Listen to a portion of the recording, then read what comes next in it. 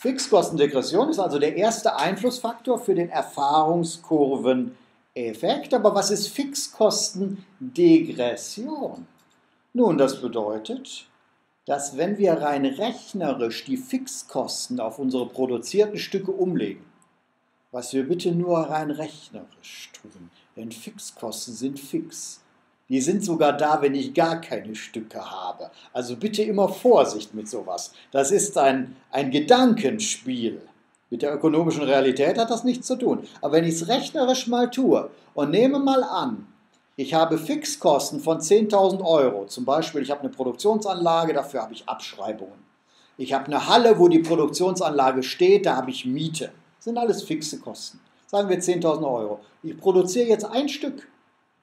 Da muss rein rechnerisch dieses eine Stück 10.000 Euro Fixkosten schultern. Rein rechnerisch. Und jetzt stellen wir uns vor, ich produziere 10.000 Stück dann habe ich Simsalabim pro Stück nur noch 1 Euro. Das heißt, ich habe einen degressiven Verlauf der Fixkosten. Könnten Sie das malen? Können wir das mal malen? Sollen wir das mal malen? Wie sieht das denn aus?